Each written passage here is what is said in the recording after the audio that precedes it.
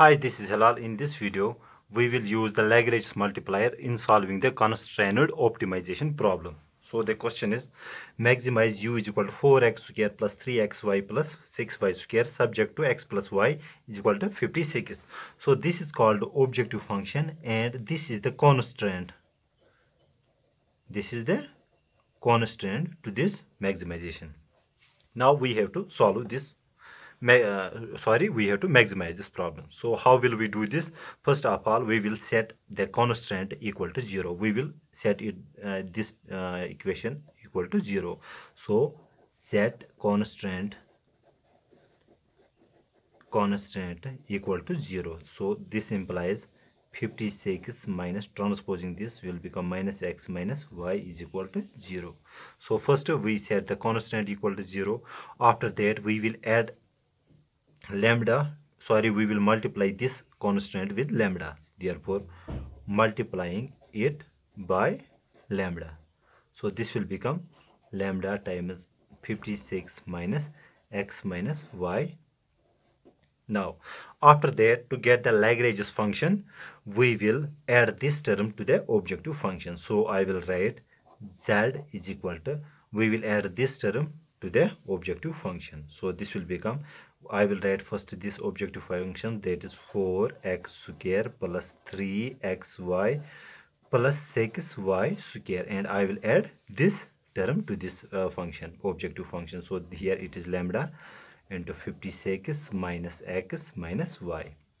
Now to get the value of x y and lambda we will partially differentiate this Lagrange function with respect to x y and lambda so partially differentiating, first we will differentiate this with respect to x. So I will write z subscript x implies I am partially differentiating this with respect to x. So this will become, now the derivative, this will become 2 4s are 8x plus here is x so the uh, derivative of x is 1 so this will become 3y plus since there is no x uh, x involved so it is derivative is 0 and now plus here is lambda into 56 no x involved so it is also 0 now lambda into minus x will become the derivative of minus x is minus 1 so this will become minus lambda.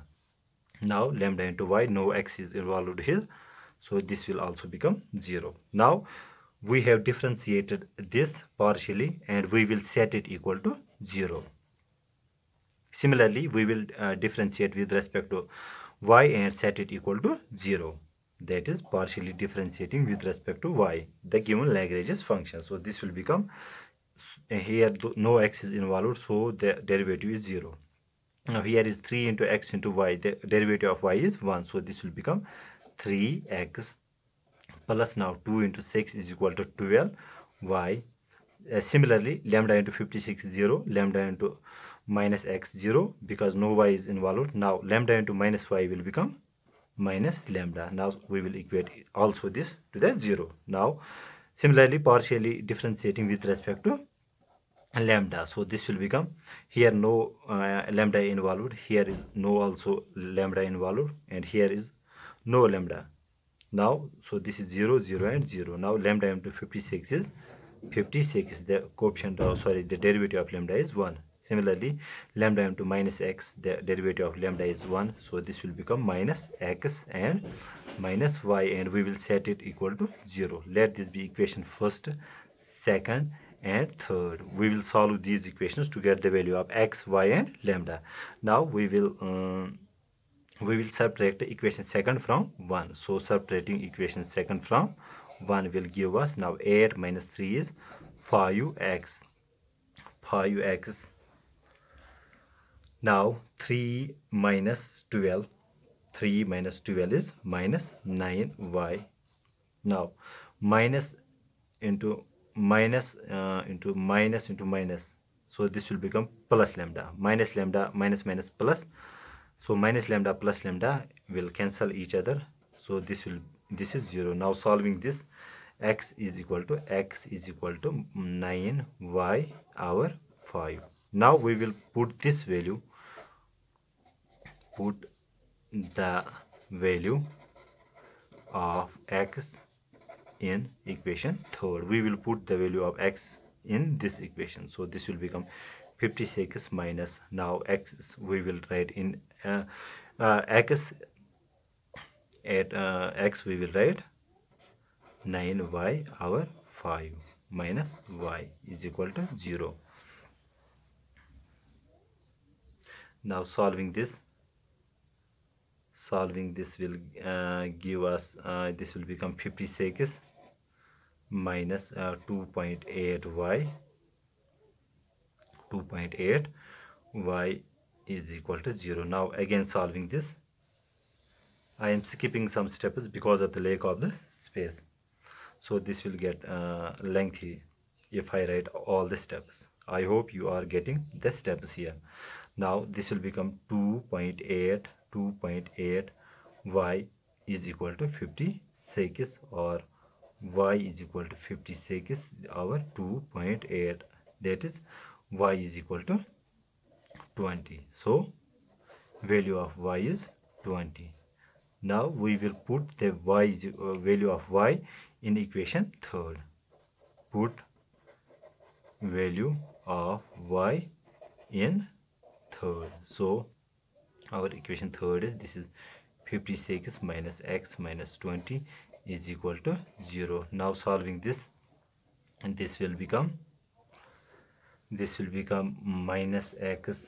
Now transposing 56 minus 20 is uh, 36 and this will become minus 36 or x is equal to 36 so this, this is the value of x.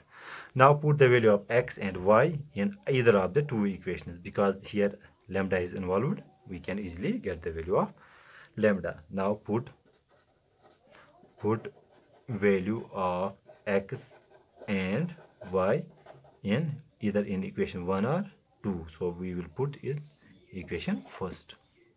So here it is 8 into x the value of x is 36 plus 3 y the value of y is 20 plus uh, here it is minus lambda. This is equal to this is equal to 0 now when solving this uh, this will become this will become 288 plus 60 minus lambda is equal to so, uh, sorry uh, is equal to 0 now now again this will become 348 minus lambda is equal to 0 now minus lambda is equal to minus 348 or lambda is equal to 348 now we got the value of lambda. Now after that we will put the value of x y and lambdas. These are the maximum conditions. So the maximum optimal uh, value of x and y we got the value of x and y. Now we will put the value of x y and lambda in the lagrange's function.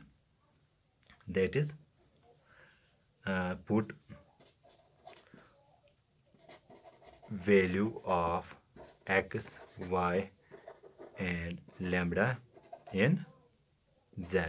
So z is equal to z is equal to this will become here uh, it is 4 into now value of x is 36 now it is square root i will write 36 square plus 3 into 36 and the value of uh, y is 20 so i will write this is 20 now plus 6 into 6 into y square. So y square means 20 square. So i will write 20 square plus lambda. Lambda we have calculated this is 348 into 56 uh, minus the value of uh, minus x. That is 36 um, minus 20 that is the value of y. Now when solving this will come out to be 9744 so the value of z is 9744 and our optimal x is value of x is 20 y is 36 and lambda is 348 348 now what does this tell us? It means a unit change in the constant of the constant will cause z to change by 348 units. Now our constant if there is a unit change in this constant of the constant this Lagrange's function this z will change by 348 unit. It means a unit change unit change in constant. Constant of constraint. Constraint the constant is this uh, since it is constant if it changes by it becomes 56 or sorry 57 or 55 the Lagrange's z will Lagrange's function z will change by change by 340 348 units. So this was all about the optimization using Lagrange's constant. So we we get the value of lambda. This lambda shows us if there is small increment one unit change in the constant of the constant this z will change by 348 units okay? So please subscribe to our youtube channel econ maths for more videos on mathematical economics. Also comment and share. Thank you